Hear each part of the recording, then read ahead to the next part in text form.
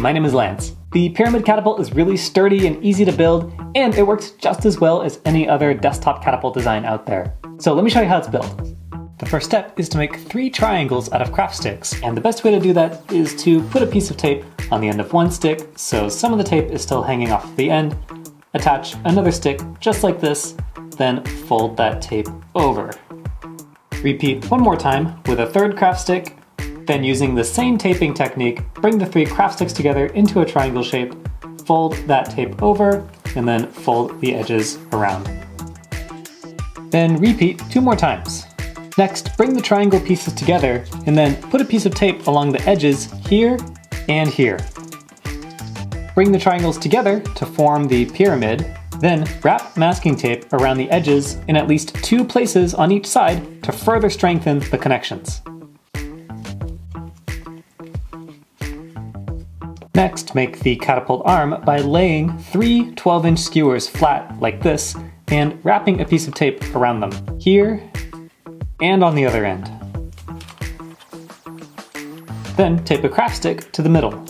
This is going to help reinforce the arm and it's going to help keep it flat. Next, cut a straw piece and then fit it over the ends of the dowels.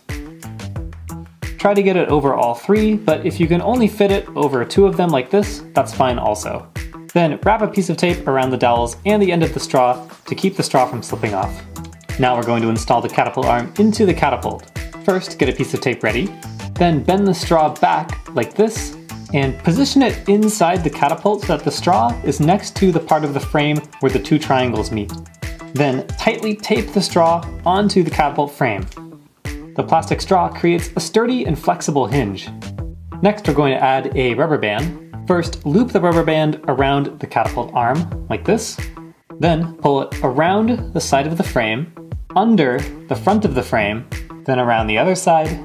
Then finally stretch it way out and pull it back over the end of the catapult arm.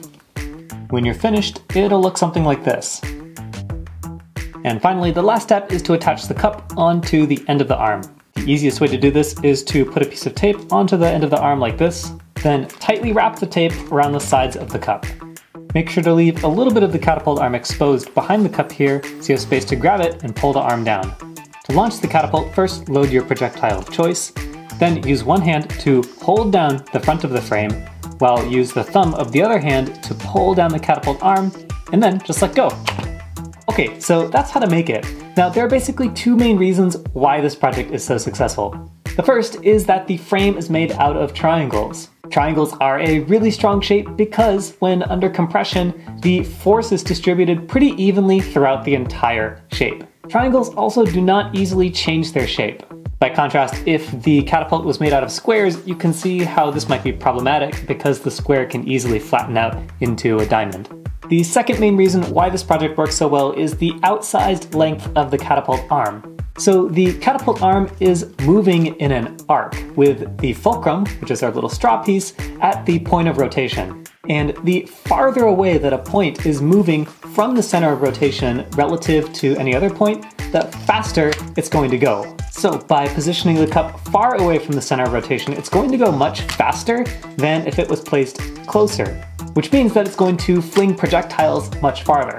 However, it does take more energy to get something that's farther away from that point of rotation to move, so if you're not satisfied with how far your catapult is flinging, you can add on more rubber bands. That, in turn, may require you to reinforce the frame with more tape. So definitely tinker with how sturdy and powerful you can make your pyramid catapult. And one last thing, as with all of the projectile launchers that I create, you can experiment with what is being fired.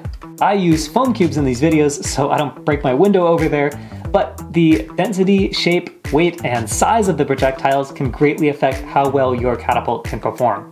So I definitely encourage you to experiment with trying to shoot different things. Okay, that's all for this video. Thanks so much for watching, and I'll see you next time.